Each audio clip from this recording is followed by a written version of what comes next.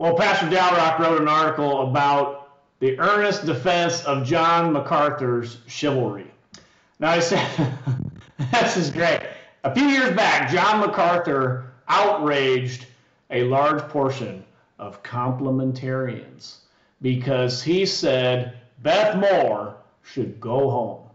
Go home. And then a large crowd of enraged, crazed patriarchs laughed as John MacArthur said, Beth Moore, go home. Now, Pastor Dalrock writes there should really be no controversy among conservative Christians regarding MacArthur's comment there.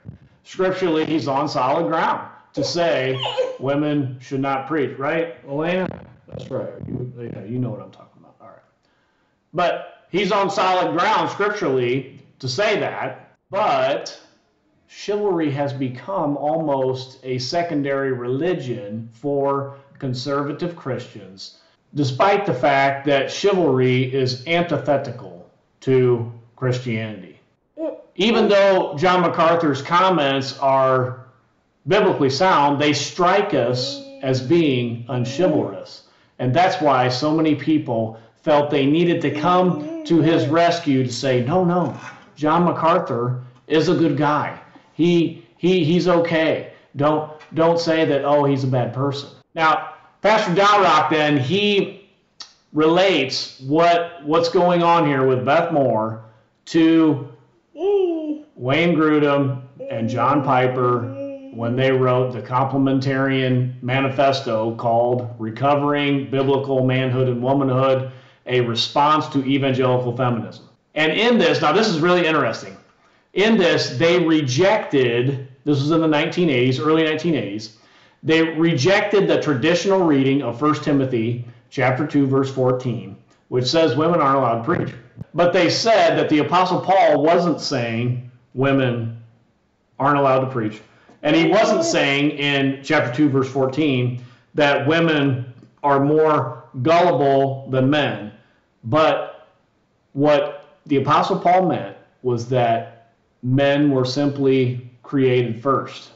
So here's what 1 Timothy chapter 2, verse, we'll back up to verse 12 says, I do not permit a woman to teach or to have authority over man. She must be silent. For Adam was formed first, then Eve, and Adam was not the one deceived it was the woman who was deceived and became a sinner. The traditional reading of that was that women are, are more easily deceived, they are more gullible than men. That's, that's the way the church has interpreted that for thousands of years until we got second wave feminism. Then it was a little bit different.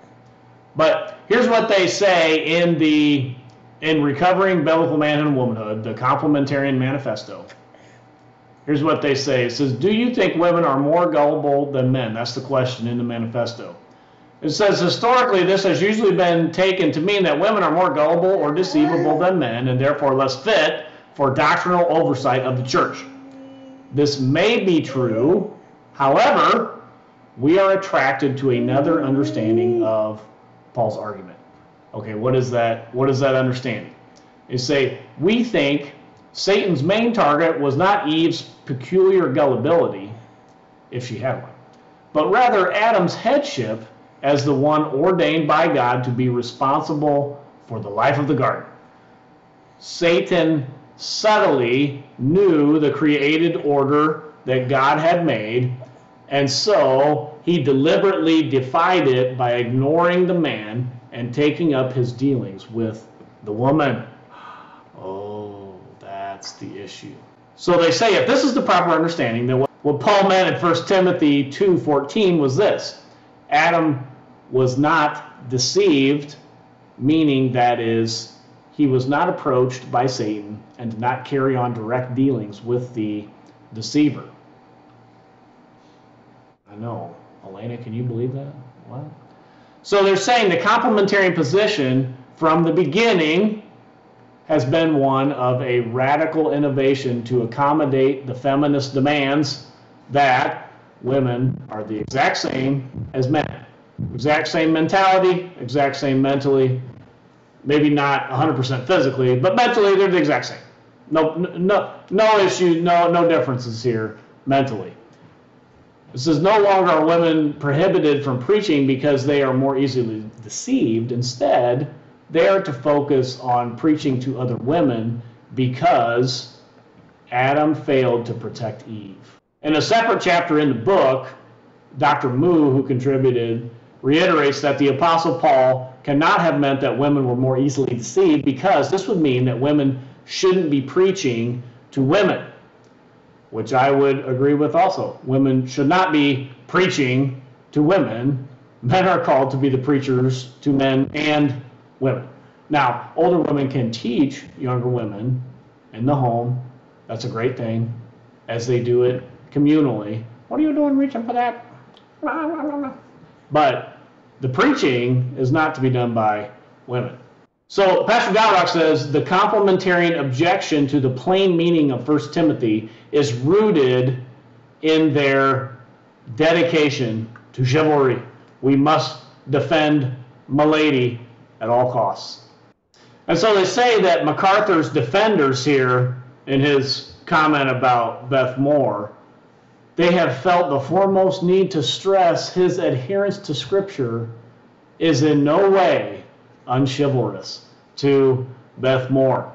And so they defend it by saying, well, it wasn't only men who were laughing when John MacArthur said this at the conference, it was also women who laughed too. So then it's not unchivalrous for him to say these things. It's, it's not unkind. Even, even Toby Sumpter, who is Doug Wilson's son in law, came out in defense of John MacArthur here. And he wrote a lengthy article, which Pastor Dalrock goes into, and says that he digresses in the article explaining the proper chivalrous response, not just to Beth Moore, but to women pushing their way into other places, such as men's sports. And he says, he says, the chivalrous solution to women coming into men's sports is to simply forfeit the match to the women who are pushing their way in. He says, in such as uh, a girl wrestling a boy, it's immodest, it's dishonorable, and it's shameful. Period. Full stops. So our boys who wrestle will forfeit any match to a girl. And he, he posits this because it's the chivalrous thing to do. Toby Sumpter then posits this as the Christian thing to do. Sa- says where in Scripture? What? And then in the same article at other places, Sumpter explains the chivalrous thing to do sometimes is for boys and men to make it safe for women and girls to push their way into men's sports, such as in lacrosse or football when the girls are playing. The boys should not aggressively push them out of bounds. They should do it as gently as possible if it's a girl. He says that our, our boys, this problem isn't going to go away, so our boys need to somehow learn to fight, but sometimes how to fight with one arm tied behind our back, and how to fight as honorable Christian men as we fight girls. What? And so Sumpter explains then that John MacArthur was merely being chivalrous and telling Beth Moore to go home.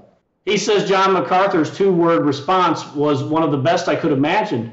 He blessed her even as he gave her a brotherly shove. Go home.